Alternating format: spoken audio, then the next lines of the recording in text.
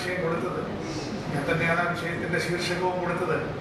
പക്ഷെ കാര്യത്തിനോട് എടുക്കുമ്പോൾ ആ വിഷയത്തെ പറ്റി കൂടുതൽ ശീർഷകത്തിന് അപ്പുറത്തേക്ക് പോയി ചിന്തിക്കുമ്പോൾ വളരെ അബദ്ധമായിട്ടൊരു ഇടയ്ക്ക് തോന്നും. പക്ഷെ അബദ്ധമായില്ല എന്നുള്ള വിചാരത്തിലാണ്. ഡിജിറ്റൽ ലോകത്ത് ഗാന്ധിജിക്ക് എന്ത് കാര്യം? ആ ശീർഷകത്തിന്റെ യുക്തിയിലേക്ക് ഞാൻ കുറച്ച് കഴിഞ്ഞ് വരാം. എങ്കിലും ഈ ചോദ്യം പലരും ചോദിച്ചിട്ടുള്ള ഒരു ചോദ്യമാണ് ചോദിച്ചുകൊണ്ടിരിക്കുന്ന ഒരു ചോദ്യമാണ്. അതിന് സമയം കുറവായതുകൊണ്ട് ഈ കൂടുതലൊരു പ്രഭാഷണത്തിന്റെ ഫ്ലറിഷിലേക്കൊന്നും പോകുന്നില്ല. കാര്യങ്ങൾ പറഞ്ഞു പോകുന്നില്ല. പ്രഭാഷണം അങ്ങനെയാണ് ഇങ്ങനെ പതുക്കെ ബിൽഡപ്പ് ചെയ്ത് കുറച്ച് നാടകീയതയൊക്കെ അതിലേക്കൊന്നും പോകുന്നില്ല. ഐ ഗോ പോയിന്റ് അപ്പോ ഈ ചോദ്യം പലരും ചോദിക്കുന്നതും ചോദിക്കാൻ ആഗ്രഹിക്കുന്നതും ചോദിക്കാൻ അവരെ പ്രേരിപ്പിക്കപ്പെടുന്നതുമായിട്ടൊരു ചോദ്യമാണ്. What is is on man's relevance in a digital age ഇവിടെ ടെക്നോളജി കൊണ്ട് ജനം അന്തപ്പെട്ട് നിൽക്കുന്ന സമയത്ത് ഈ ഗാന്ധിജിക്ക് എന്താ കാര്യം? അതാണ് ഈ ചോദ്യത്തിന്റെ പ്രസക്തി. ഡിജിറ്റൽ ലോകത്ത് ഗാന്ധിജിക്ക് എന്ത് കാര്യം? ഈ ചോദിക്കുന്നത് അങ്ങനെ ചോദിക്കുന്നവർ വളരെ ആത്മാർത്ഥമായിട്ടാണ് ചോദിക്കുന്നത്. ഞാനൊരു രണ്ടായിരത്തി പതിനെട്ട് പത്തൊമ്പത് കാലഘട്ടങ്ങളിൽ ഇതുപോലെ കുറച്ച് ഗാന്ധി പ്രഭാഷണം ചെയ്തു. കൂട്ടത്തിലെ പാലക്കാട് ഐ ഐ ടിയിലും പ്രഭാഷണം നടത്തി. അവിടെ ഗാന്ധിയ ടെക്നോളജി എന്ന് തന്നെയാണെന്ന് പേരിട്ടത്. അപ്പം ഞാനത് മാറ്റിയത് കൊണ്ടാണ്. അപ്പോൾ ഒരു പ്രസംഗമെല്ലാം കഴിഞ്ഞപ്പോൾ ഒരു പെൺകുട്ടി എണീറ്റ് പറഞ്ഞു സാറിന്റെ പ്രസംഗമെല്ലാം കൊള്ളാം പക്ഷേ ഇറ്റ് ഇസ് നോ യൂസ് ഗാന്ധിജിയെ പറ്റി ഇങ്ങനെയൊക്കെ പറഞ്ഞിട്ട് എന്താ കാര്യം? വി ലിവ് ഇൻ എ ഗാന്ധിജിക്ക് എന്താ കാര്യം? അപ്പൊ ഞാൻ പറഞ്ഞു വന്ന കുട്ടിക്ക് മനസ്സിലായില്ല അത് ഞാനും പറഞ്ഞതിന്റെ കുഴപ്പമാണോ എന്നൊക്കെ ഞാൻ അന്ന് തൊട്ടേ ചിന്തിക്കുകയാണ്. അങ്ങനെയാണ് ഇന്ന് ഞാൻ ഈ വിഷയത്തിലേക്ക് എത്തുന്നത്. ആ കുട്ടി ഒരു ഒറ്റപ്പെട്ട കുട്ടിയല്ല. She's not an isolated voice hers is not an isolated ഒരുപാട് പേരുടെ മനസ്സിലൂടെ കടന്നു പോകുന്ന ഒരു ആശയമാണ്. ഇവിടെ നമ്മളെല്ലാം കൂടി ഇരുന്ന് ഗാന്ധിയെ പറ്റി വാഴ്ത്തുന്നു ഇരുപത്തൊന്നാം നൂറ്റാണ്ടിലെ ഈ ഗാന്ധിജിക്ക് എന്താണ് കാര്യം എന്നുള്ള ചിന്ത അതൊരൊറ്റപ്പെട്ട ചോദ്യമല്ല പലരുടെയും മനസ്സിലുള്ള ചോദ്യമാണ്. ഇങ്ങനൊരു ചോദ്യം ചോദിക്കാൻ ഏറ്റവും കൂടുതൽ കാരണക്കാരനായത് ഗാന്ധിജി തന്നെയാണ്. ഇങ്ങനൊരു ചോദ്യം ചോദിപ്പിച്ച് നടക്കൂ എന്നുള്ള മട്ടിൽ പല കാര്യങ്ങളും പറഞ്ഞു വെച്ചത് മറ്റാരുമല്ല ഗാന്ധിജി തന്നെയാണ്. Gandhiji is quite mischievous also ചില ചോദ്യങ്ങൾ നമ്മൾ ചോദിച്ച് അടങ്ങും. കാരണം അദ്ദേഹം പലതും പറഞ്ഞു വെച്ചു. മെഷീനറിയെ പറ്റി ടെക്നോളജി എന്നുള്ള വാക്ക് അദ്ദേഹം മെഷീനറിയെ പറ്റി യന്ത്രങ്ങളെ പറ്റി അദ്ദേഹം ഒരുപാട് പറഞ്ഞിട്ടുണ്ട്. പ്രത്യേകിച്ച് ഗ്രാമ നമ്മുടെ ഈ ഹിന്ദു സ്വരാജ് എന്നുള്ള പുസ്തകത്തിലാണ് പ്രധാനമായിട്ട് പലയിടത്തും ഇത് പരാമർശം വരുന്നുണ്ടെങ്കിലും ഹിന്ദു സ്വരാജ് എന്നുള്ള ബുക്കിൽ ആയിരത്തി തൊള്ളായിരത്തി ഒൻപതിൽ എഴുതിയ ഒരു പാംഫ്ലെറ്റ് എന്നതിനെ പറ്റി പറയാൻ പറ്റുള്ളൂ. തൊണ്ണൂറ് പേജുള്ള ഒരു ഒരു ലേഖനം ലേഖനങ്ങളാണ്. തൊണ്ണൂറ് പേജുള്ളതാണ്. നവംബർ പതിമൂന്നിനും നവംബർ ഇരുപത്തിരണ്ടിനും ഇടയിൽ കപ്പലിൽ വെച്ച് എഴുതിയതാണ് ലണ്ടനിൽ നിന്ന് സൗത്ത് ആഫ്രിക്കയിൽ മടങ്ങുമ്പോൾ അദ്ദേഹത്തിന് തോന്നിയ ചിന്തകളാണ്. അതൊരു എഡിറ്ററോട് ചോദിക്കുന്ന മട്ടിലുള്ള ചോദ്യങ്ങൾക്കുള്ള മറുപടിയായിട്ട് പല വിഷയങ്ങളെ പറ്റിയും അദ്ദേഹം വിപുലീകരിക്കുന്ന കൂട്ടത്തിൽ ഏറ്റവും പ്രധാനമായിട്ടുള്ളത് ഈ പറഞ്ഞതുപോലെ ടെക്നോളജിയെ പറ്റി. നമുക്കിപ്പോൾ വിചാരിക്കാവുന്ന യന്ത്രങ്ങളെ പറ്റി അല്ലെങ്കിൽ മെഷീനുകളെ പറ്റിയൊക്കെയുള്ള അദ്ദേഹത്തിന്റെ ഈ തൊണ്ണൂറ് പേജുള്ള ഈ പുസ്തകത്തിൽ ആണ് ഗാന്ധിജിയെ ഇന്ന് ഗാന്ധിജിക്ക് ഒരു പ്രസക്തിയുമില്ല എന്ന് പറയുന്ന ആളുകൾ അവർ പറയുന്ന ആത്മാർത്ഥമായിട്ടാണ് കാര്യം അവർക്ക് എടുത്തുപയോഗിക്കാൻ പറ്റുന്ന ഒരുപാട് വാക്യങ്ങൾ ഗാന്ധിജി അതിനകത്ത് എഴുതി വെച്ചിട്ടുണ്ട്. ഇന്നിപ്പോ ഗാന്ധിജി അങ്ങനെ എഴുതുമായിരുന്നു നമുക്ക് അറിഞ്ഞുകൂടാ ഇന്നത്തെ ടെക്നോളജി അല്ല ടെക്നോളജിയെ പറ്റി അല്ല ഗാന്ധി പറയുന്നത്. അപ്പോ അപ്പോൾ ഗാന്ധിജിക്ക് ആധുനിക ലോകത്ത് പ്രസക്തി ഇല്ല എന്ന് കരുതുന്നവർക്ക് വേണ്ട വിഭവങ്ങളെല്ലാം അദ്ദേഹം ഹിന്ദു സ്വരാജിൽ കൊടുത്തിട്ടുണ്ട്. ഉദാഹരണത്തിന് അദ്ദേഹം ഹി ടേക്സ് എക്സ്ട്രീം പൊസിഷൻസ് ആണ്. പിന്നെ എത്രയൊക്കെ മാറുന്നുണ്ട് കേട്ടോ. ഗാന്ധിജിക്ക് മാറാൻ ബുദ്ധിമുട്ടില്ലാത്തതുകൊണ്ട് അദ്ദേഹം പിന്നെ മാറുന്നുണ്ട്. ഒരിടത്ത് അദ്ദേഹം പറയുന്നു machinery is the chief symbol of modern civilisation it presents a great sin കോട്ടാണ്. ഇത് ഇക്കാലത്തെ ഒരു ചെറുപ്പക്കാരന്റെ കയ്യിൽ കിട്ടിയാൽ അയാൾ ഗാന്ധിയെ വെറുതെ വിട്ടുപോകും എന്താണ് പറഞ്ഞിരിക്കുന്നത്? Machinery is the chief symbol of modern civilisation it presents a great sin ഒരു സാധാരണ വായനക്കാരനെ സംബന്ധിച്ചിടത്തോളം ഈ ആശയങ്ങൾ ഗാന്ധി ഹിന്ദു സ്വരാജിൽ പറഞ്ഞിരിക്കുന്ന ആശയങ്ങൾ വാസ്തവത്തിൽ ആധുനിക വിരുദ്ധമാണ്. പുരോഗതിക്ക് വിരുദ്ധമാണ്. എന്ന് അയാൾ സംശയിച്ചാൽ അയാളെ കുറ്റം പറയാൻ പറ്റുകയില്ല മുഴുവൻ വായിക്കാതെ അത് യുക്തിരഹിതമാണ് എന്ന് ആ യുവാവ് അല്ലെങ്കിൽ യുവാവ് വയസ്സന്മാരോ ആയിക്കൊണ്ട് അങ്ങനെ ഒരു വായനക്കാരന് തോന്നിയാൽ നമുക്ക് അയാളെ ഒരർത്ഥത്തിൽ കുറ്റം പറയാൻ പറ്റുകയില്ല. ഇത് വരട്ടുവാദമാണ് ഉണ്ടോ എന്ന് അയാൾ പറഞ്ഞാലും കുറ്റം പറയാൻ പറ്റുകയില്ല. ഇത് പ്രതിലോഭകരമാണ് എന്നെല്ലാം തോന്നുന്നത് തികച്ചും സ്വാഭാവികമായ പ്രതികരണമായിട്ട് മാത്രമേ കരുതാൻ പറ്റൂ. ഇന്ന് ഇരുപത്തൊന്നാം നൂറ്റാണ്ടിലെ ടെക്നോളജി ജീവിതത്തിന്റെ സമസ്ത മേഖലകളിലും പിടിമുറുക്കി കഴിഞ്ഞിരിക്കെ ഗാന്ധിജിയുടെ നിലപാടുകളെ നമുക്ക് എന്ത് ചെയ്യണം? നമ്മൾ സ്വാ- സാധൂകരിക്കണമോ? നിരാകരിക്കണമോ? അതാണ് ചോദ്യം. തീർച്ചയായിട്ടും ഈ ഡിജിറ്റൽ ലോകത്ത് അതിന് അക്ഷരാർത്ഥത്തിൽ ഗാന്ധിജി പറഞ്ഞ കാര്യങ്ങളെ എടുത്തിട്ട് ഗാന്ധിജിയെ നിരാകരിക്കണമെങ്കിൽ വളരെ എളുപ്പമാണ്. പക്ഷെ അത് നമ്മുടെ ബുദ്ധിയില്ലായ്മയുടെ ലക്ഷണമായിരിക്കും. Gandhiji should never be interpreted its literal sense അതിന്റെ കോണ്ടെക്സ്റ്റിൽ നിന്ന് അല്ലാതെ അതിനെ റീകോണ്ടെക്സ്റ്റലൈസ് ചെയ്യലല്ലാതെ ഗാന്ധിയെ സമീപിച്ചാൽ നമ്മൾ അപകടത്തിലേക്ക് അതുകൊണ്ട് ഈ വാക്യങ്ങൾ കേട്ടിട്ട് അയ്യോ ഈ ഗാന്ധി മെഷീനറിക്കെതിരെയാണ് ഈ ഗാന്ധി പുരോഗതിക്കൊക്കെ എതിരാണ് ഇയാളൊരു പഴഞ്ചനാണ് ഇയാൾ പഴയ ഭാരതത്തിലേക്ക് നമ്മളെ കൊണ്ടുപോകുന്ന ഒരു വരട്ടുവാദക്കാരനാണ് എന്നൊക്കെ പറഞ്ഞു പോകുന്നവരെ സത്യം പൂർണമായി കാണുന്നില്ല എന്ന് എന്ന് മാത്രമാണ് നമുക്ക് പറയാൻ സാധിക്കുക. പിന്നെ നമ്മുടെ വിഷയത്തെ പറ്റി കൂടി ഞാനൊരു വാക്യം പറഞ്ഞോട്ടെ തിരിച്ചു വരിക. ഈ ഇവിടെ ഗാന്ധിജിയും ഡിജിറ്റൽ ടെക്നോളജിയും എന്നല്ല നമ്മുടെ വിഷയം. ഗാന്ധിജിയും സാങ്കേതിക വിദ്യയും എന്ന ഒരു കോമ്പസിഷൻ എഴുതുന്നതല്ല നമ്മുടെ വിഷയം. പിന്നെയോ? ഡിജിറ്റൽ ലോകത്ത് ഗാന്ധിജിക്ക് എന്ത് കാര്യം എന്നാണ്. അവിടെ നമ്മുടെ ഈ ലോകത്ത് നമ്മുടെ ഈ ലോകങ്ങളുടെ അർത്ഥത്തിലാണ് ഡിജിറ്റൽ ലോകം എന്ന് പറഞ്ഞിരിക്കുന്നത് അല്ലാതെ ഡിജിറ്റൽ ടെക്നോളജിയെ പറ്റിയുള്ള ഒരു ഒരു വിവരണത്തിനല്ല നമ്മൾ ജീവിക്കുന്ന ഡിജിറ്റലി ഇൻഫോംഡ് ആയിട്ടുള്ള ടെക്നോളജി പെർമിയേറ്റഡ് ആയിട്ടുള്ള ഈ ലോകത്ത് ദാറ്റ് ഈസ് നമ്മുടെ ഈ പോസ്റ്റ് മോഡേൺ ലോകത്ത് ഗാന്ധിജിക്ക് എന്ത് കാര്യം എന്നാണ് ചോദ്യം. അതായത് our times and Gandhi's relevance basically it points നമ്മൾ ജീവിക്കുന്ന ഈ കാലം ടെക്നോളജി ഡോമിനേറ്റഡ് ആയിട്ടുള്ള ഈ കാലം and what has Gandhiji got to do with ആദ്യം ഇനി ഞാൻ എന്റെ പ്രധാന പോയിന്റിലേക്ക് കടക്കാം. ആദ്യം ഹിന്ദു സ്വരാജും മറ്റും അദ്ദേഹം അതിനകത്തൊക്കെ അദ്ദേഹം സ്വീകരിച്ച ഈ പിന്നെ ആന്റി മോഡേൺ എന്നും ആന്റി മെഷീനറി എന്നുമുള്ള നമുക്ക് തോന്നുന്ന ഈ നിലപാടുകളെ അല്ലെങ്കിൽ തോന്നുന്നതല്ല അങ്ങനെയുള്ള നിലപാടുകളെ അവയുടെ സന്ദർഭത്തിൽ നമുക്കൊന്ന് കാണാൻ ശ്രമിക്കാം. അദ്ദേഹം എഴുതിയ സന്ദർഭത്തിൽ കാണാൻ ശ്രമിക്കാം. The context and the text the text and the context context ഇല്ലാത്ത ടെക്സ്റ്റ് പ്രിടെക്സ്റ്റ് ആണെന്ന് സാധാരണ ജേർണലിസ്റ്റുകൾ പറയുന്നത് text without context is pretext എന്ന് പറയുന്നത് പോലെ what is the text and context നമുക്കത് നോക്കിയാലേ ഗാന്ധി യന്ത്രങ്ങളെ പാടെ നിരാകരിക്കുന്നില്ല എന്ന് കൂടി നമ്മൾ ഓർക്കണം. അദ്ദേഹം പറയുന്നുണ്ട് യന്ത്രങ്ങൾക്ക് ഞാൻ എതിരല്ല is the craze for machinery യന്ത്രങ്ങൾ ചൂഷണത്തിന്റെ ഉപകരണ ഉപകരണങ്ങളാവുകയാ ആകയാൽ ആ മെഷീനറി ക്രൈസിനെ അദ്ദേഹം യന്ത്രങ്ങൾ ചൂഷണത്തിന്റെ ഉപകരണങ്ങളായതുകൊണ്ട് ആ ചൂഷണത്തിനെ എന്ത് എതിർക്കുന്നു എന്നുള്ളത് കൊണ്ട് ചൂഷണം അണ്ണത്തിക്കലായതുകൊണ്ട് ഞാൻ അതിനെ എതിർക്കുന്നു. ഇരുപതാം നൂറ്റാണ്ടിന്റെ ആദ്യ പാദങ്ങളിലാണ് ഗാന്ധിജി ആദ്യ വർഷ ആദ്യ പത്ത് വർഷത്തിനുള്ളിലാണല്ലോ ഇത് എഴുതുന്നത്. ഫസ്റ്റ് ഡെക്കേഡിലാണ് അന്ന് ഡിജിറ്റൽ ടെക്നോളജി ഒന്നുമില്ല. ഇലക്ട്രോണിക് ടെക്നോളജി ഒന്നുമില്ല. പക്ഷേ അന്ന് ഉള്ളത് എന്താണ്? ഒരു ഇൻഡസ്ട്രിയൽ യുഗമാണ്. ഒരു ഇൻഡസ്ട്രിയലൈസേഷന്റെ അടുത്തൊരു ഘട്ടത്തിലാണ് മെഷീനറിയുടെ ഒരു സൂപ്രമസി കൊണ്ട് ലോകത്ത് ഉൽപ്പന്നങ്ങൾ ഇങ്ങനെ വർദ്ധിക്കുന്ന ഒരു കാലമാണ്. അപ്പോൾ മെഷീനറിയാണ് ഏറ്റവും വലിയ ടെക്നോളജി എന്നത്. യന്ത്രങ്ങളാണ്. യന്ത്രവൽകൃതമായിട്ടുള്ള അസംബ്ലി ലൈനൊക്കെ വന്ന് അങ്ങനെ ഒരു ഒരു ഒരു ഫാസ്റ്റ് പ്രൊഡക്ഷൻ മാസ് പ്രൊഡക്ഷനിലേക്ക് ലോകത്തിന്റെ ഇൻഡസ്ട്രിയലൈസേഷൻ പോയിക്കൊണ്ടിരിക്കുന്ന ഒരു കാലത്താണ് ഗാന്ധിജി ഇത് എഴുതുന്നത് എന്ന് ഓർക്കണം.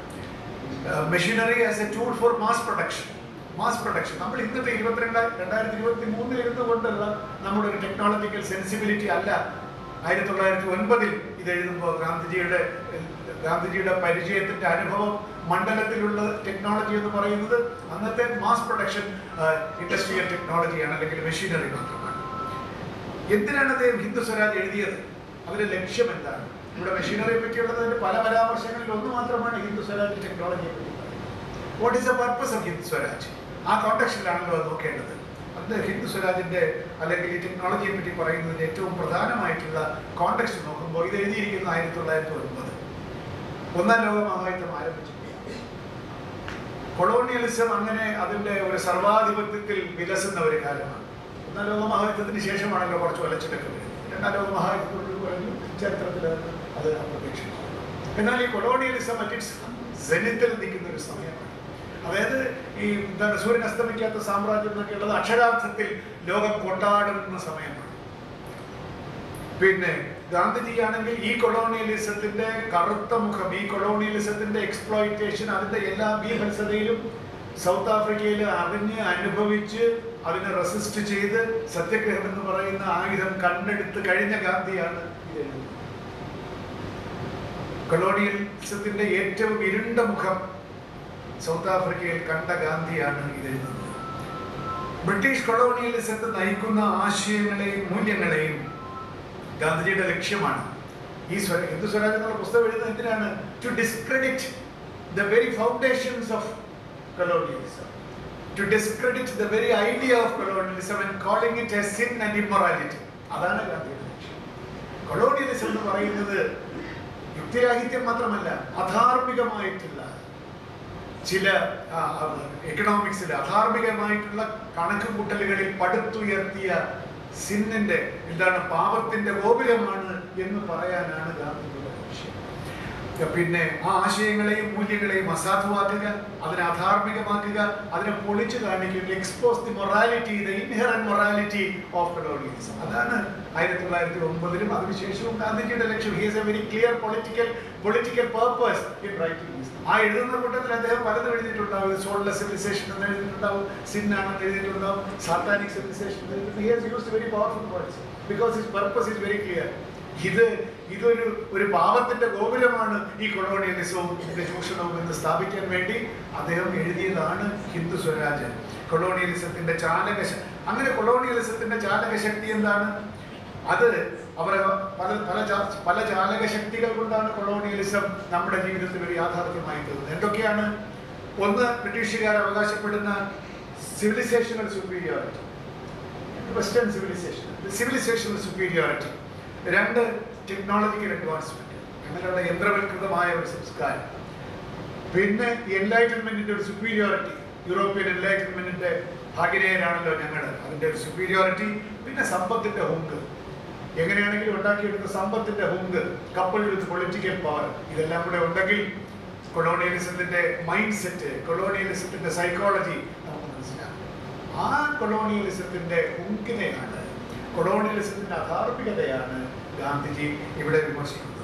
ഏതൊരു കഴിവുകൾ ഉപയോഗിച്ചാണോ ബ്രിട്ടീഷ് ഭരണവും കൊളോണിയലിസവും അവർ നിലനിർത്തുന്നത്?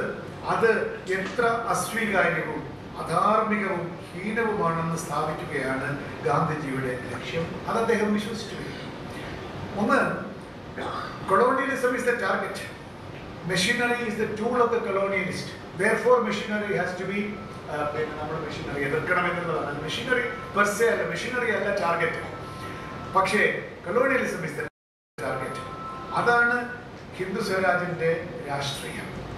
ഈ ആധുനികതയാണ് എല്ലാ പ്രശ്നങ്ങൾക്കും ചൂഷണങ്ങൾക്കും അടിസ്ഥാനം. ആ ആധുനിക അന്നത്തെ വെസ്റ്റേൺ ആധുനികതയാണ് സമസ്ത ചൂഷണത്തിന്റെ അടിസ്ഥാനം എന്ന് ഗാന്ധിജി വിചാരിക്കുന്നു. അത് സാധ്യമാക്കുന്നതാകട്ടെ. അവരുടെ ഏറ്റവും trusted tool of the colonialist എന്താണ്? ഈ യന്ത്രവൽകൃതമായിട്ടുള്ള മീൻസ് ഓഫ് പ്രൊഡക്ഷൻ തന്നെയാണ്. മീൻസ് ഓഫ് പ്രൊഡക്ഷൻ അവിടെയാണ് നമ്മൾ മറ്റൊന്നും കൂടി ആലോചിക്കണം. ഈ മീൻസ് ഓഫ് പ്രൊഡക്ഷൻ കൊണ്ട് വളരെ നല്ല കാര്യങ്ങളൊക്കെ ചെയ്യുകയല്ല കേട്ടോ?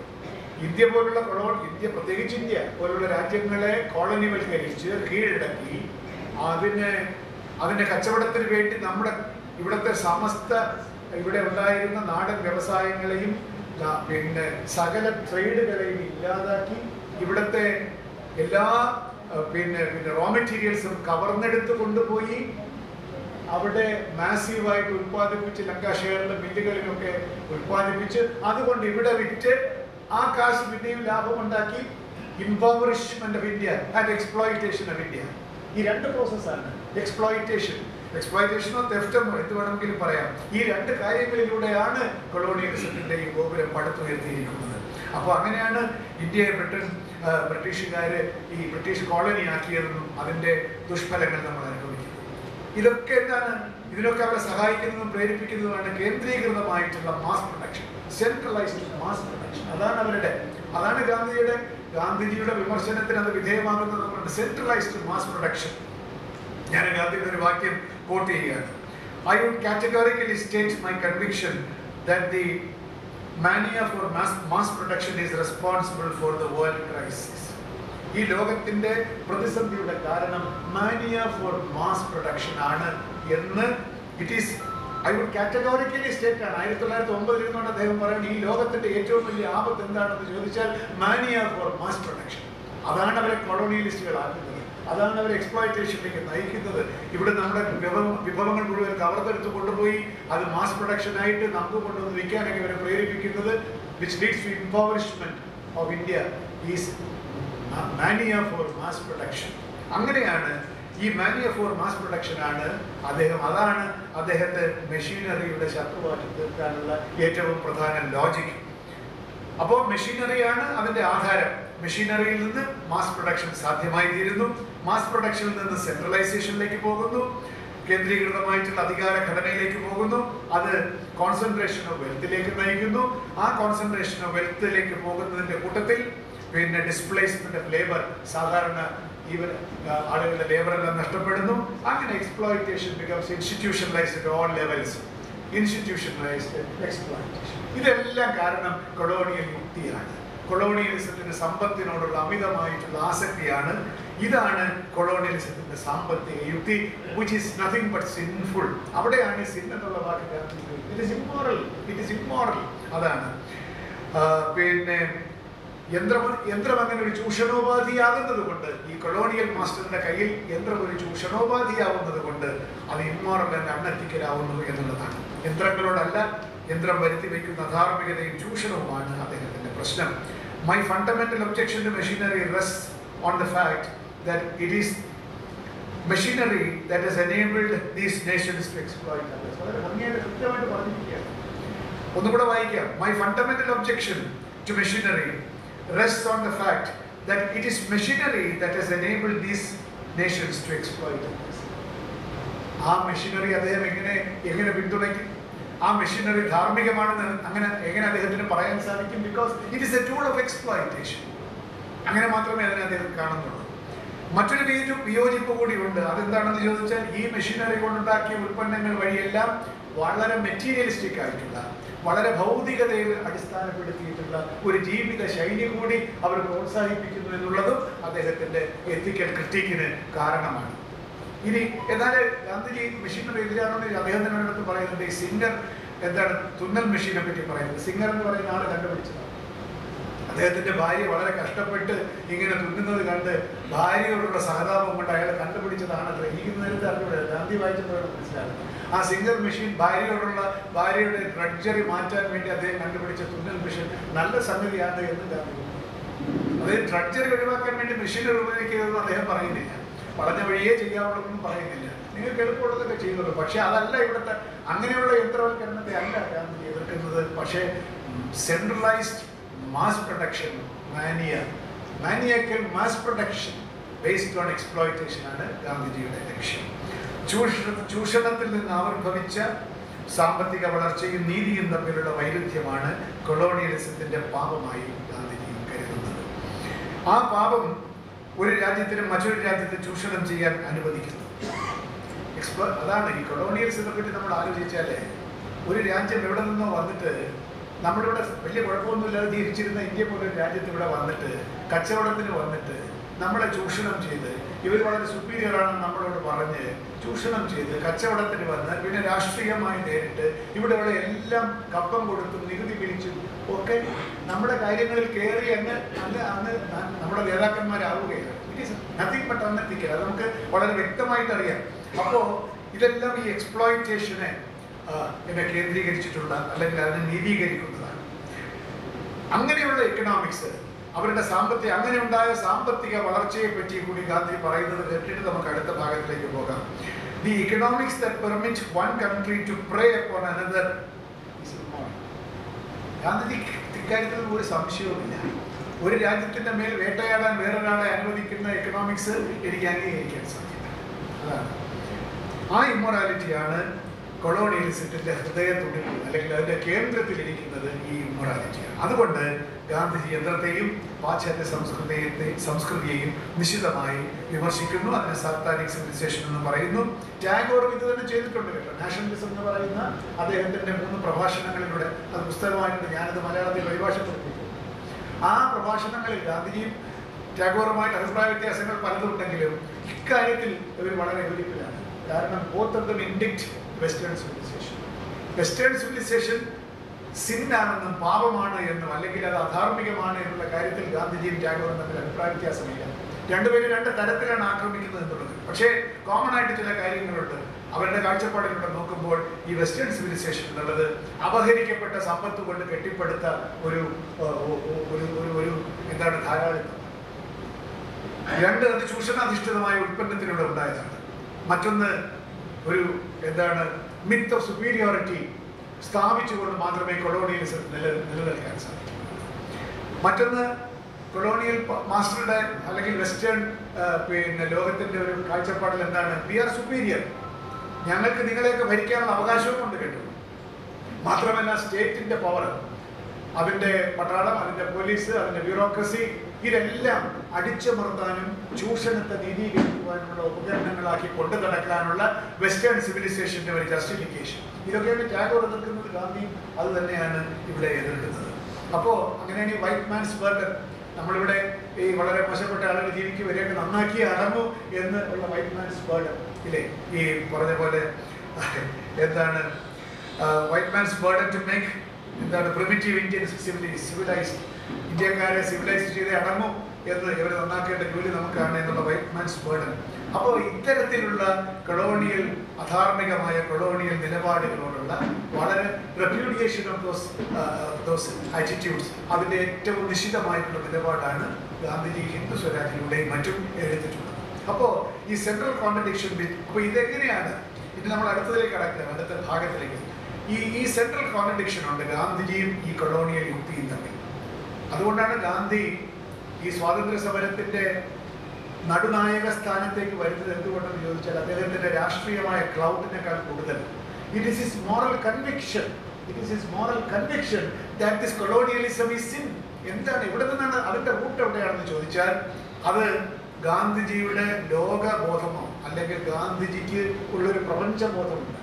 ഇവിടെ നമ്മൾ ഈ ലോകത്ത് ജീവിക്കുന്ന മനുഷ്യരും നമ്മളുമായിട്ടുള്ള മനുഷ്യരുടെ മനുഷ്യരും മനുഷ്യനുമായിട്ടുള്ള ബന്ധത്തെ പറ്റി മനുഷ്യനും പ്രകൃതിയുമായിട്ടുള്ള ബന്ധത്തെ പറ്റി the interconnectedness between every living being ഈ പ്രപഞ്ചത്തിൽ മനുഷ്യനും മനുഷ്യനുമായും മനുഷ്യനും പ്രകൃതിയുമായും എല്ലാമുള്ള the organic interconnectedness inviolable interconnectedness ആ ഇന്റർ കണക്റ്റഡ്നെസ്സിനെ പറ്റി അതാണ് ഗാന്ധിയുടെ സ്പിരിച്വാലിറ്റി ഗാന്ധിജി സ്പിരിച്വാലിറ്റി എന്ന് പറയുന്നത് മതപരമായ സ്പിരിച്വാലിറ്റി അല്ല.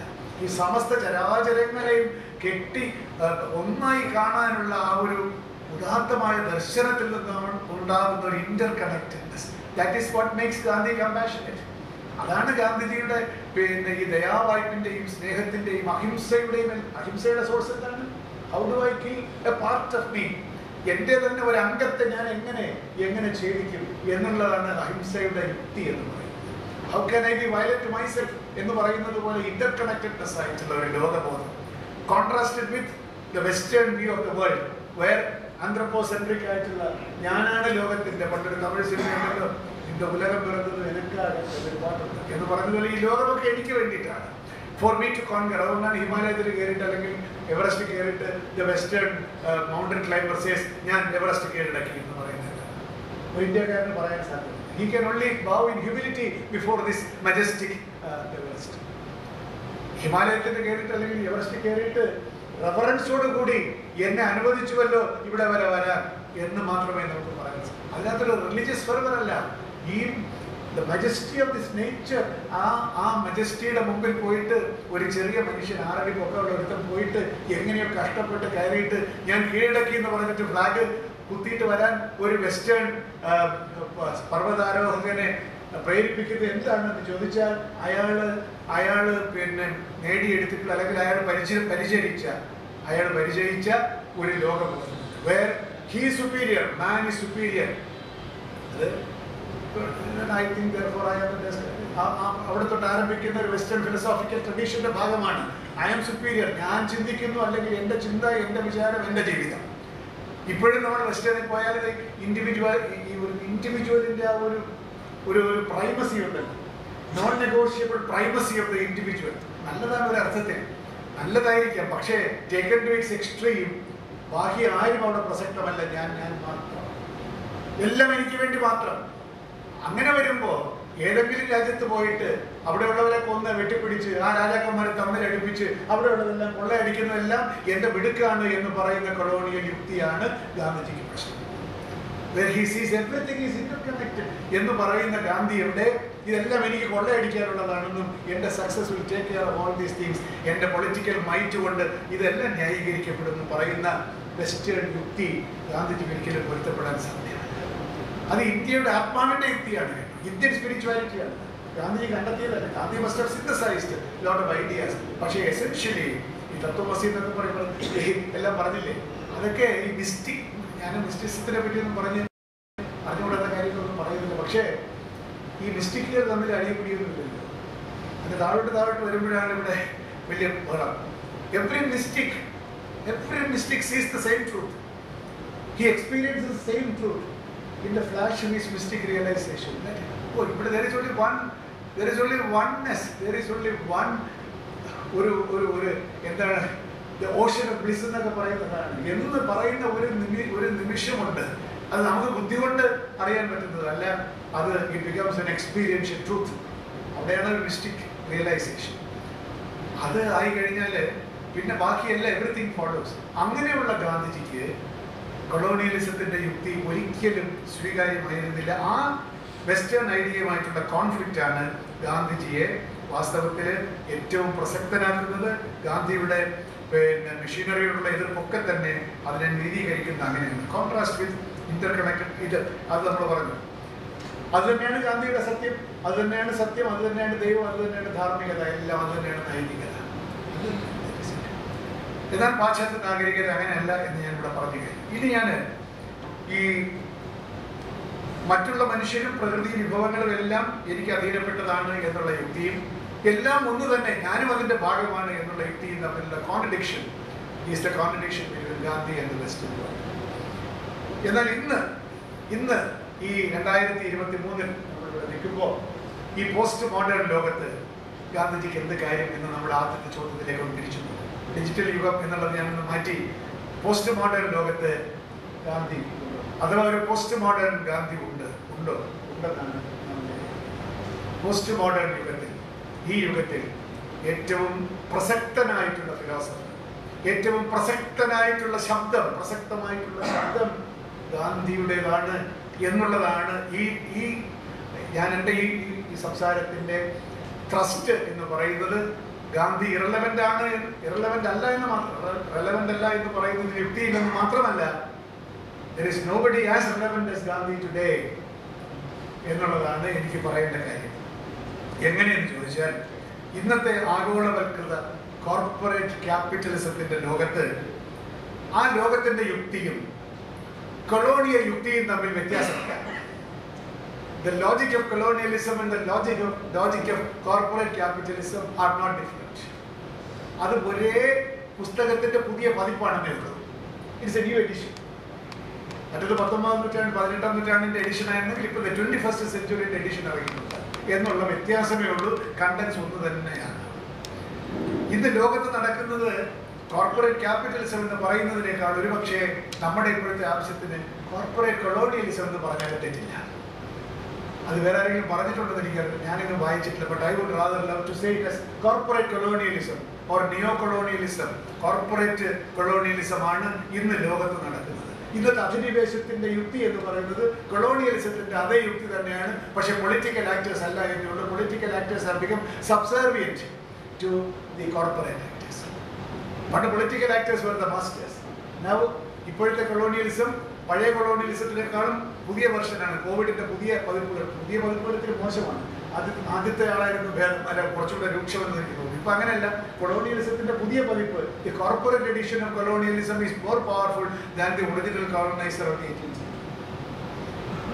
അവന് അവന് രാഷ്ട്രീയ നേതൃത്വം വേണ്ട. രാഷ്ട്രീയ നേതൃത്വം കൊണ്ട് അവൻ അവൻ ജയിക്കാനുള്ള കഴിവ് ഇന്നത്തെ കോർപ്പറേറ്റ് കൊളോണിയലിസത്തിനുണ്ട് അപ്പോ അപ്പോ അങ്ങനെയാണ് ഇന്ന് ലോകത്ത് നടക്കുന്ന corporate colonialism which is affecting all of us American way of ലൈഫിലേക്ക് ലൈഫാണ് അതിന്റെ ഒരു ഒരു ഒരു സിമ്പൽ എന്ന് പറയുന്നത് അതുകൊണ്ടാണ് എന്റെ മോൻ അമേരിക്കയിൽ പോയി അവന് ഗ്രീൻ കാർഡ് കിട്ടി എന്ന് പറയുന്നത് നമുക്കെല്ലാം ഒരു ഉന്മാദം വരുന്നത് എന്തുകൊണ്ടെന്ന് വെച്ചാൽ that is ideal to which everybody as India ഉൾപ്പെടെയുള്ള രാജ്യങ്ങളിലെ യുവാക്കളും സന്ദർശ സർക്കാരുകളും ശ്രമിക്കുന്നതും ആഗ്രഹിക്കുന്നതും അമേരിക്കൻ ജീവിത ശൈലി പോലെ ഒരു ശൈലി ഉണ്ടാകും ആ ഇൻഫ്ലുവൻസിൽ ജീവിക്കണം. അതാണ് നമ്മുടെ എല്ലാവരുടെയും ആത്യന്തികമായ സ്വർഗവാതിൽ തുറക്കുന്ന സമയം എന്ന് പറയുന്നത് അമേരിക്കൻ ലൈഫ് സ്റ്റൈലിലേക്ക് എത്തിയാൽ യു ആർ ത്രൂ എന്നുള്ളതാണ്.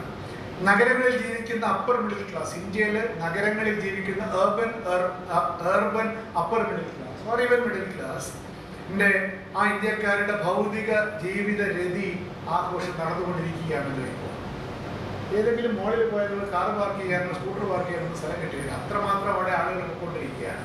എവിടുന്നാണ് ഈ പണം എന്നൊക്കെ ഞാൻ ഏതായാലും ജീവിത രീതി എന്താണ്?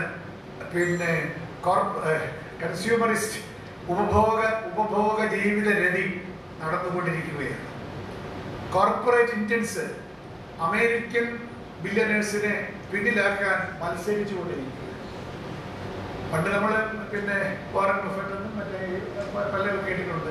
ബിൽ ഗേറ്റ്സ് ഉണ്ടായിരുന്നു പലരും വന്നു. പക്ഷേ ഇപ്പൊ Indian billionaires are vying with each other to push them behind, to push American billionaires behind. അമേരിക്കയുടെ ജി ഡി പി എത്ര നമ്മുടെ ജി ഡി പി എത്ര അതുപോലെ പക്ഷേ എന്നാലും അമേരിക്കൻ കോർപ്പറേറ്റ് ബില്യനേഴ്സിനെ പിന്നിലാക്കലാണ് നമ്മുടെ ബില്യനേഴ്സിന്റെ ലക്ഷ്യം ഇന്നത്തെ ഇന്നത്തെ പത്രത്തിൽ ഇന്ത്യൻ എക്സ്പ്രസ് വായിച്ചതിനകത്ത് അദാനി ഗ്രൂപ്പിന്റെ എൺപത്തെട്ട് ചോദ്യങ്ങൾക്ക് അല്ല മറ്റേ ഹിൻഡൻബർഗ് എന്താണ് ഹിൻഡൻബർഗിന്റെ എൺപത്തെട്ട് ചോദ്യങ്ങൾക്ക് അറുപത്തെട്ട് ഉത്തരം പറഞ്ഞില്ല എന്ന് പറയുന്ന കൊച്ചു വാർത്തയാണ്. സിംഗിൾ കോളം വാർത്തയാണ്. അതിനകത്തുള്ള ഒരു വാക്യം എനിക്ക് ഉദ്ധരിക്കാതിരിക്കാനുള്ള പ്രലോഭനത്തിന് വഴങ്ങാതിരിക്കാൻ എനിക്ക് സാധിച്ചില്ല.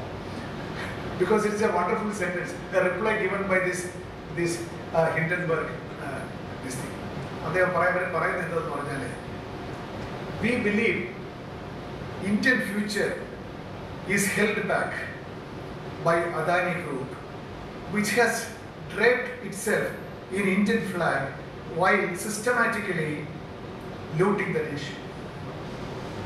ഈ സെന്റൻസ് ഞാൻ എങ്ങനെ കോട്ട് ചെയ്യാതിരിക്കും ഞാൻ ആദ്യം വിചാരിച്ച ഒരു ഗ്രൂപ്പിനെ പറ്റി ഒരു പ്രത്യേക പരാമർശമുള്ളത് ഒരു വായിക്കേണ്ടെന്ന് വിചാരിച്ചു പക്ഷേ പത്രത്തിലൊക്കെ ഉണ്ടല്ലോ ഞാൻ ഉണ്ടാക്കിയതല്ലല്ലോ We believe India's future is held back by Adani Group, which has draped itself in Indian flag while systematically looting the nation.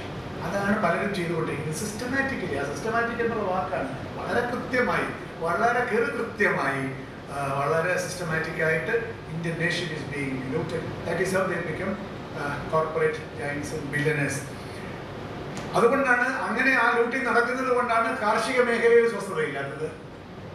അതുകൊണ്ടാണ് ഇവിടെ ജോബ്ലെസ് ഗ്രോത്ത് നടന്നുകൊണ്ടിരിക്കുന്നത്. ഇന്ത്യൻ എക്കോണമി ഒക്കെ വളരുന്നുണ്ട് നമ്മുടെ സെൻസെക്സ് ഒക്കെ ഭയങ്കരമായിട്ട് വളരുന്നുണ്ട്. പക്ഷേ അൺഎംപ്ലോയ്മെന്റ് ഇന്ത്യ ചരിത്രത്തിലെ ഏറ്റവും വലിയ അൺഎംപ്ലോയ്മെന്റ് റേറ്റിലാണ് നമ്മൾ എത്തുന്നത് ഇന്ത്യ വളരെ വലിയ എല്ലാവരും കൊണ്ടും പറയിക്കും ഐ എം എഫിനെ കൊണ്ട് പറയിക്കുന്നു വേറെ ആരെങ്കിലും കൊണ്ട് പറയിക്കുന്നു? ഇന്ത്യ ഭയങ്കരമായിട്ട് ഇരിക്കാൻ പോകണമെന്നാണ് പറയുന്നത്. ഇന്ത്യയുടെ ഗ്രോത്ത് പ്രോസ്പെക്ട്സ് വളരെ നല്ലതാണ് എന്ന് പറഞ്ഞാൽ ചില പത്രങ്ങൾ ഫ്രണ്ട് പേജ് കൊടുക്കും കൊടുത്തിരിക്കും എല്ലാ ദിവസവും നമ്മൾ വായിക്കുന്നത് എന്തിനാണ് ഇത്രമാത്രം ഇന്ത്യ ഇന്ത്യ വളരുകയാണ് വളരുകയാണ് ബാലതാരന്മാർ കേരളം വളരെ വളരുന്നു എന്ന് പറയുന്നത് ദിവസം ദിവസവും പറയേണ്ട വല്ല കാര്യം വളരട്ടെ നല്ല കാര്യം നമ്മളെല്ലാം ആഗ്രഹിക്കുന്നതല്ലേ? പക്ഷെ വളരുന്നില്ല. വളരുന്നുള്ള വളർച്ചയിൽ കേൾക്കാം എല്ലാ പത്രത്തിലും കാണാം. പ്രത്യേകിച്ച് ചില പിങ്ക് പിങ്ക് കളേഡ് പത്രങ്ങളിലൊക്കെ തന്നെ വളർച്ചയുടെ ചരിത്രമേ ഉണ്ട് വളർച്ചയുടെ ആ ഒരു ആഘോഷം. പക്ഷെ വളരുന്ന കാണുന്നില്ല. വളർ- വളർന്നു കളയുന്നുള്ള ഭീഷണിയുണ്ട് വളർന്നു കളയുന്നുള്ള ഭീഷണിയാണ്. അപ്പൊ കാർഷിക മേഖലയിലെ ഈ അസ്വസ്ഥത it is a symptom of a larger മാനിറ്റി കാരണം ഇവിടെ കാർഷിക മേഖല തളർന്നുകൊണ്ടിരിക്കുകയാണ്. എന്നാൽ പിന്നെ billionaires are amazing wealth wealth എവിടെ നിന്ന് വരുന്നു എന്ന് നമുക്കറിയാം അപ്പം ബ്രിട്ടീഷ് കൊളോണിയൽ ബ്രിട്ടീഷ് യുക്തിയെക്കുറിച്ച് ഗാന്ധിജി ആയിരത്തി തൊള്ളായിരത്തി അൻപതിൽ പറഞ്ഞ കാര്യങ്ങൾ. എന്തെല്ലാം യുക്തി കൊണ്ടാണ് ഗാന്ധിജി അന്നത്തെ കൊളോണിയലിസത്തിനെ എതിർത്തത്? അതേ കാരണങ്ങൾ ഇന്ന് ആധുനിക കാലത്തെ കോർപ്പറേറ്റ് കൊളോണിയലിസത്തിന്റെ കാലത്ത് ഇതിനേക്കാൾ സ്യൂട്ടബിൾ ആയിട്ട് പറയാൻ ബാക്കിയില്ല എന്നുള്ളതാണ് വാസ്തവം. ഇന്നത്തെ സാമ്പത്തിക നയങ്ങൾക്ക് വളരെ കൃത്യമായി ഇണങ്ങുന്ന കാര്യങ്ങളാണ്. എന്തൊക്കെയാണ് അദ്ദേഹം പറഞ്ഞത്? ഈ സെൻട്രലൈസേഷൻ ഈ സെൻട്രലൈസേഷൻ ആണല്ലോ. Political centralization economic centralization production centralization everything ഈ സെൻട്രലൈസ്ഡ് ടാക്സ് സെൻട്രലൈസേഷൻ എല്ലാത്തിനും സെൻട്രലൈസേഷൻ ആണ്.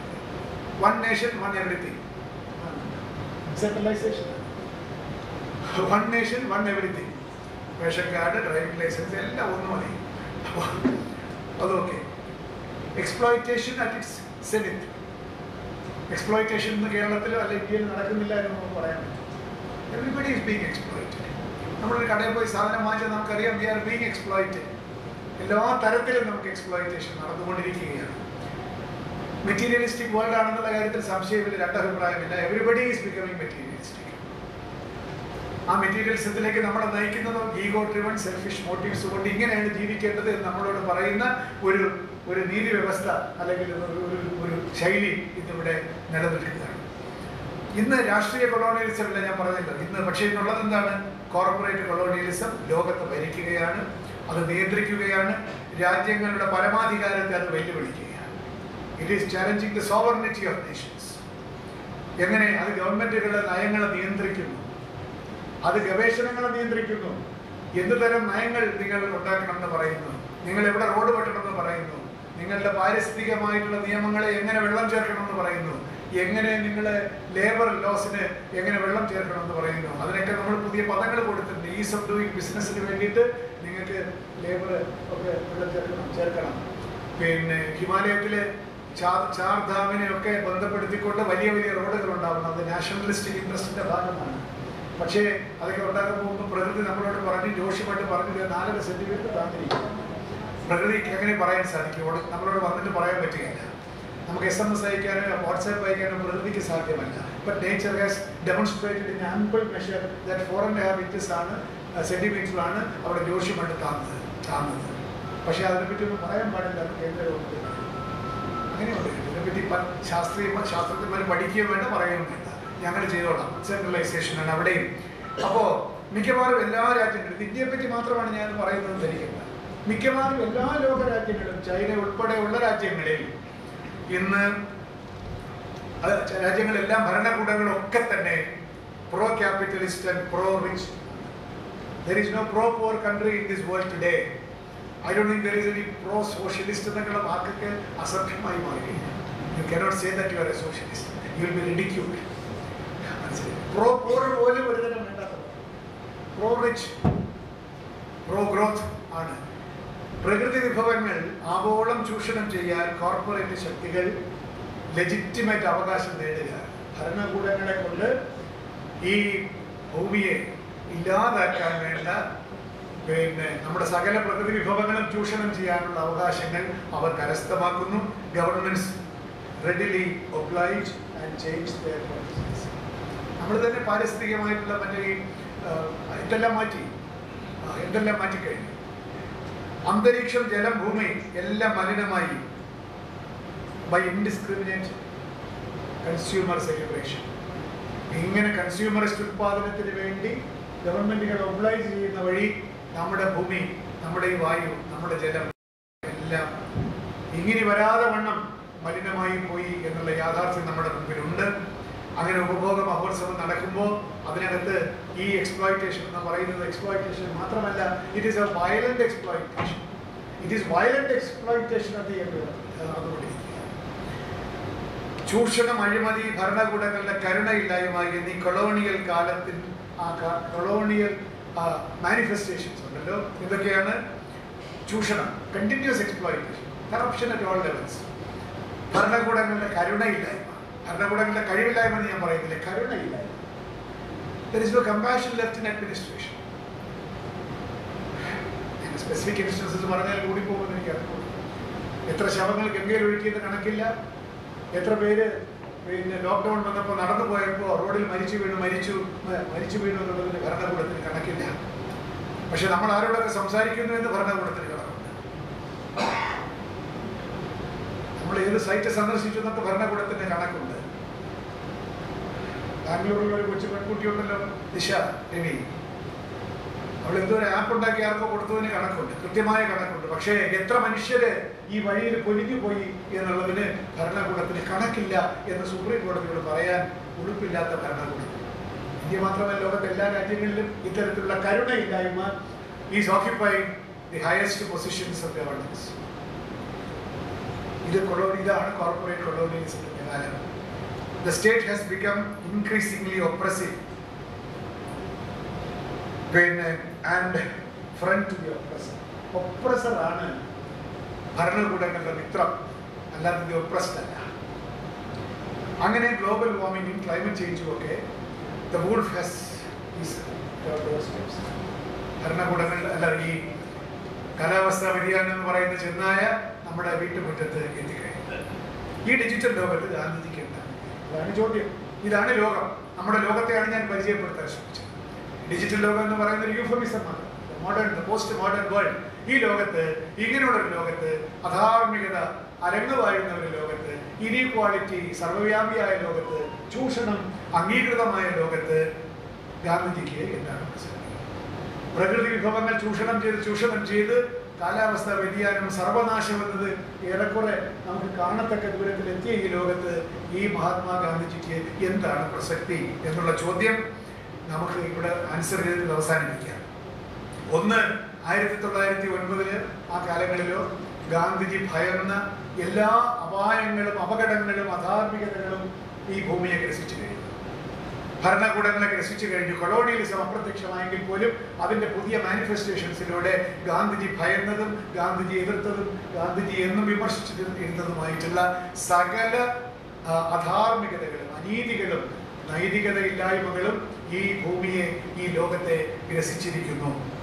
ഗാന്ധി പറഞ്ഞതെല്ലാം ഇന്ന് കൊളോണിയലിസത്തിന്റെ പല്ലക്കിൽ നിന്നിറങ്ങി രാഷ്ട്രീയമായ കൊളോണിയലിസത്തിന്റെ പല്ലക്കിൽ നിന്നിറങ്ങി ആധുനിക സാങ്കേതിക വിദ്യയുടെയും പിന്നെ കോർപ്പറേറ്റ് ക്യാപിറ്റലിസത്തിന്റെയും നവവാഹനത്തിലാണ് ഇന്നത്തെ കൊളോണിയലിസം എത്തിയിരിക്കുന്നത് എന്ന് മാത്രം. വണ്ടി ഒന്ന് മാറ്റി. ഇത്രയും കാലത്ത് പിന്നെ അവർ കൊളോണിയലിസത്തിന്റെ പല്ലക്കിലാണ് വന്നതെങ്കിൽ ഇപ്പോൾ ഇതാ പുതിയ കോർപ്പറേറ്റ് കൊളോണിയലിസത്തിന്റെ കൊളോണിയലിസം അങ്ങനെ പുതിയ കാറിൽ വന്നിരിക്കുകയാണ്. റോൾസ് റോയ്സിൽ വന്നിരിക്കുന്നു എന്നേ ഉള്ളൂ. പക്ഷെ വന്നിരിക്കുന്ന ആൾ ഒന്ന് തന്നെ ഒന്ന് വേഷം മാറി വന്നു എന്ന് മാത്രം. സത്യത്തിൽ നിന്നും മൊറാലിറ്റിയിൽ നിന്നും അകന്ന കാലം മഹാവിപത്തുകൾ വരുത്തി വെച്ച് കഴിഞ്ഞ ഈ വന്ന കാലമാണ്. ഹിസ് റിജക്ഷൻ ഓഫ് അദ്ദേഹത്തിന്റെ ഈ ഈ ആധുനിക ഈ ആധുനിക സിവിൽ മോഡേൺ സിവിലൈസേഷൻ അദ്ദേഹം പറഞ്ഞ അതിനോടുള്ള അദ്ദേഹത്തിന്റെ എതിർപ്പുകൾ മുഴുവൻ അദ്ദേഹത്തിന്റെ ഭയങ്കര യാഥാർത്ഥ്യമായ ഈ കാലത്ത് ഒരു പോസ്റ്റ് മോഡേൺ ഗാന്ധിജിക്ക് എന്താണ് പ്രസക്തി എന്ന് ചോദിച്ചാൽ ഇന്ന് ഗാന്ധിജി മാത്രമല്ല ഇന്ന് ലോകത്തുള്ള എത്രയോ ശാസ്ത്രജ്ഞന്മാര് ഈ ലോകത്തെ എങ്ങനെ രക്ഷിക്കാം എന്ന് ആലോചിച്ചു ഈ സർവനാശത്തിന്റെ വെളുപ്പിൽ നിന്ന് ഈ ഭൂമിയെ എങ്ങനെ രക്ഷിക്കാം?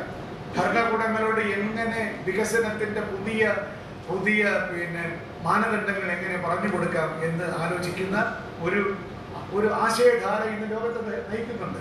ഈ വികസന തന്ത്രം എത്ര നാൾ? ഈ രീതി നൈതികതമോ നൈതികമോ ജനറേഷണൽ ജസ്റ്റിസ് എവിടെ പോയി?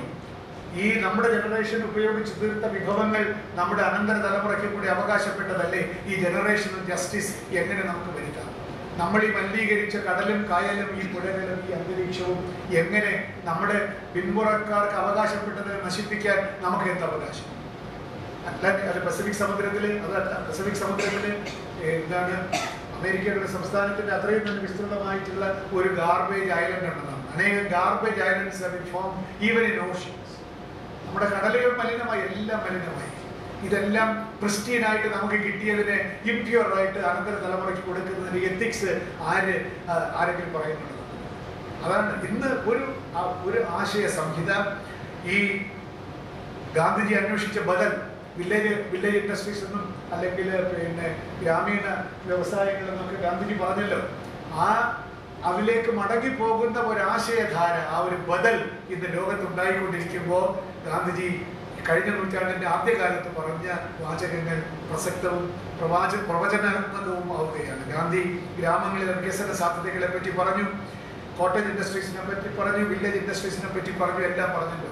ടോൾസ്റ്റോയിലൂടെ തോറോയിലൂടെ റസ്കിനിലൂടെ ഗാന്ധിജിയിൽ എത്തിച്ചേർന്ന ആശയങ്ങൾ ആ ഒരു ആശയധാര സമാന്തരമായ ഒരു ആശയധാര ഇന്ന് ഗാന്ധിജിയിലൂടെ ഗാന്ധിജിയെ മനസ്സിലാക്കുന്ന അനേകം ശാസ്ത്രജ്ഞരിലൂടെ പിന്നെ ബുദ്ധിജീവികളിലൂടെ ഇന്ന് ലോകത്തെ വീണ്ടും സ്വാധീനിക്കേണ്ട കാലം അനിവാര്യമായിരിക്കുന്ന ഒരു കാലത്താണ് നമ്മൾ ഈ ഡിജിറ്റൽ ലോകത്ത് ഗാന്ധിജിക്ക് എന്ത് കാര്യം എന്ന് ചോദിക്കുമ്പോൾ ഇന്ന് പോസ്റ്റ് മോഡേൺ വേൾഡ് ഗാന്ധിജിക്ക് കാര്യമുണ്ട് എന്ന് മാത്രമല്ല ഗാന്ധിജിക്കാണ് ഇവിടെ കാര്യമുള്ളത്. ഗാന്ധിജിയുടെ ആശയധാരയെ പ്രതി- പുനഃപ്രതിഷ്ഠിച്ചില്ല എങ്കിൽ പ്രതിഷ്ഠിച്ചില്ല എങ്കിൽ സർവനാശമായിരിക്കും ഈ ഭൂമിയെ കാത്തിരിക്കുന്നത് എന്നുള്ള കാലത്താണ് നമ്മളിവിടെ നിൽക്കുന്നത് ഇനി ഒരു ആഗോള പ്രതിസന്ധിയിൽ നാം അകപ്പെട്ടിരിക്കുന്ന ഈ സമയത്ത് ഇതിൽ നിന്ന് പുറത്ത് കിടക്കേണ്ട നേരത്ത് കിടക്ക- കിടക്കുമ്പോൾ നമ്മൾ ചില ശീലങ്ങൾ മാറ്റേണ്ടതുണ്ട്.